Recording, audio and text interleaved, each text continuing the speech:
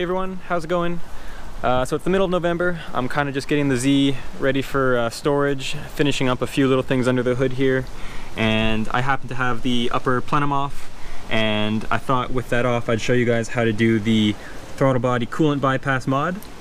Um, you can do this with the, uh, with the plenum still on. I just happen to have it off. Makes it a little easier to show you guys. But basically what we have is we have a, a, line coming off the back of the lower intake manifold here, and we have a line coming off the turbo. Um, I just have bolts in them so they don't leak after I took the plenum off. But the whole point of this mod is to basically connect these together because both ends of these would originally be going to the throttle body. And with these connected, it kind of just bypasses that.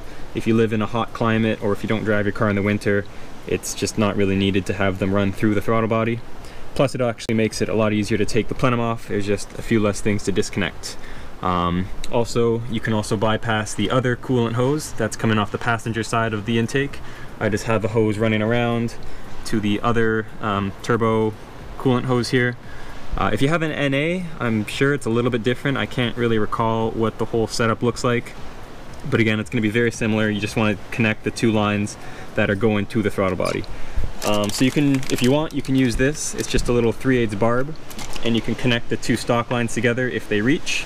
But what I'm gonna be doing is actually taking this, both of these lines off and I'm gonna connect a new, a new line from that side to this side. So I'm gonna put the camera down and I'll be back when that's all finished up. All right, so I got the hose on. You can see it right here.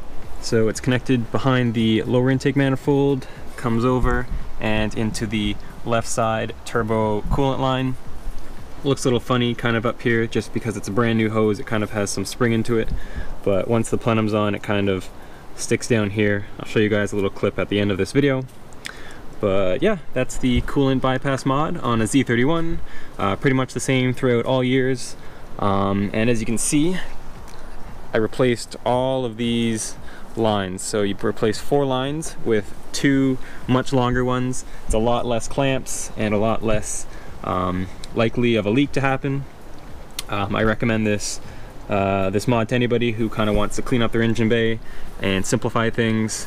But uh, yeah, that's it for this video guys. Thank you for watching and I will see you next time.